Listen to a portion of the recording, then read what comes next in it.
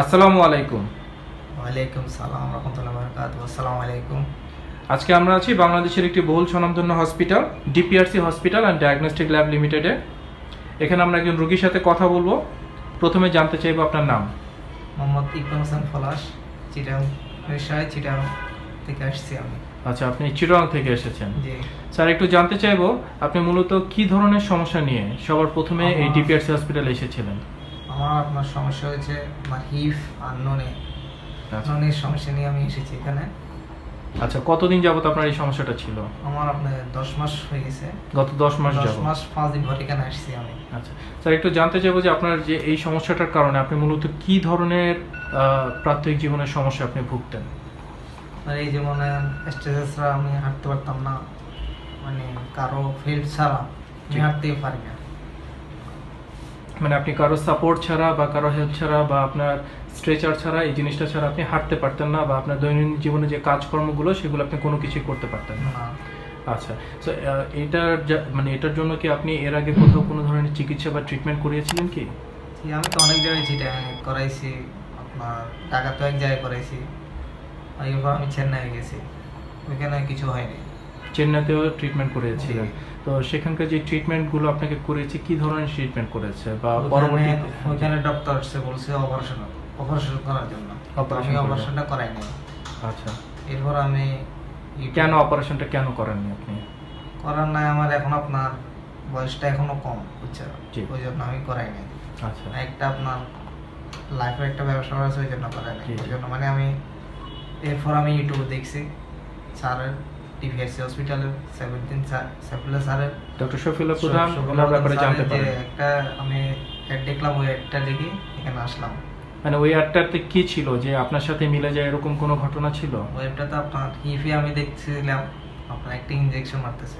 জি। ওই ইনজেকশনে এ আপনার ব্যথাটা কমতেছে ওই জন্য আমি স্যারের সাথে দেখা করতে আসলাম স্যার আমাকে এখানে আপনার থাকার জন্য বলছে থাকার পরে এরপর আমার মোটামুটি এখন আগের থেকে আপনার অনেক ভালো আছে। অনেক ভালো আছেন। এখন কি আপনি আপনার সাপোর্ট ছাড়া আপনি হাঁটাচলা করতে পারেন মুভ করতে পারেন? জি। যেটা আগে আপনার পক্ষে কোনোভাবেই সম্ভব ছিল না কারও সাপোর্ট ছাড়া বা স্ট্রেচার ছাড়া হাঁটা।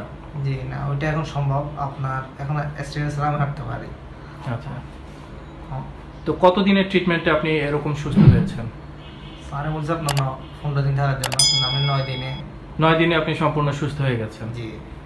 আচ্ছা একটু জানতে চাইব স্যার আপনি যখন এই ডিপিআরসি হসপিটালে ভর্তি ছিলেন এখানকার যারা সিস্টার ছিল নার্স ছিল বা যারা ম্যানেজমেন্টের লোক ছিল তারা আপনাকে কি প্রপারলি আপনার যতটুকু ট্রিটমেন্ট পাওয়ার কথা ছিল টাইম টু টাইম প্রতিটা আপনার চিকিৎসা কি তারা নিশ্চিত করেছে? টাইম ওষুধ থেরাপি ফিজিওথেরাপি ব্যায়াম সবগুলো টাইম টু টাইম সবকিছু আপনি টাইম টু টাইম পেয়েছেন মেডিসিন সবকিছু আপনি টাইম টু টাইম পেয়েছেন। টাইম টু টাইম আচ্ছা স্যার একটু জানতে চাইব যে এই ডিপিআরসি হসপিটালের পরিবেশ সম্পর্কে যদি একটু বলেন আপনার কাছে কেমন লেগেছে এই ডিপিআরসি হসপিটালের পরিবেশ? এমনি ভালো আপনার এর থেকে আর ভালো। এটাই ঠিক। এটাই আপনার কাছে অনেক ভালো লেগেছে। এটাই ভালো লাগছে। স্যার একটু জানতে চাইব যে আপনি যে আপনার কোমরে হিপ জয়েন্টের ব্যথা আপনি অনেক দিন যাবৎ ভুগেছেন আপনি দেখা যাচ্ছে যে অন্য কারও সাপোর্ট ছাড়া আপনি হাঁটতে পারতেন না। মাত্র অল্প কয়েকটা দিনের ট্রিটমেন্টে আপনি সম্পূর্ণ সুস্থ হয়ে গেছেন। আপনার মতো এরকম অসংখ্য রুগী আছেন বাংলাদেশে এবং বাংলাদেশের বাইরে যারা হয়তো সঠিক ডক্টর খুঁজে পায় না বা কার কাছে গেলে তাদের ভালো হবে সেটা হয়তো বুঝতে পারেন না।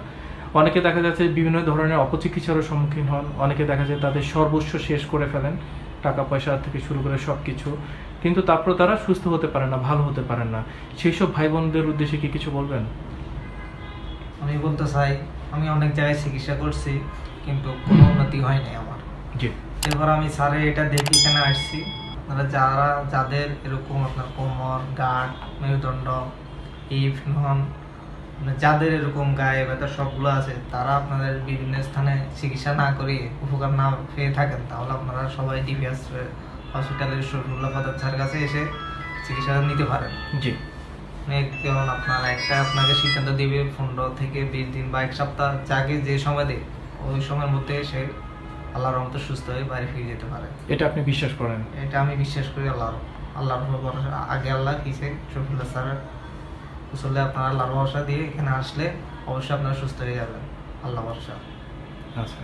স্যার সবশেষে জানতে চাইব এই ডিপিআরসি হসপিটাল থেকে আপনি যে ধরনের ট্রিটমেন্ট পেয়েছেন বা যে সেবাটা আপনি পেয়েছেন সেই সেবার মানকে আপনি গ্রেডে আউট অফ হান্ড্রেড আপনি কত দিবেন? একশোতে আপনি কত মার্কস দেবেন?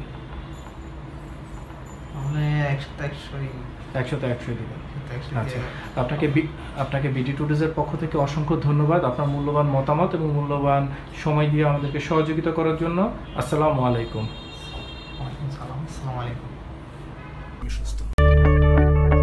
আমরা জানি আপনার প্রিয়জন আপনার জন্য কতটা গুরুত্ব বহন করে। প্রপার ডায়াগনোসিস কনসালটেশন পেইন ও প্যারালাইসিস চিকিৎসা পুনর্বাসন আমাদের সব আয়োজনে সব সময় আপনাদের জন্য চব্বিশ ঘণ্টা খোলা। আমরা চাই না আপনারা বারবার আমাদের কাছে ফিরে আসুন তবুও আমরা আছি সব সময় সর্বদা আপনাদের পাশেই।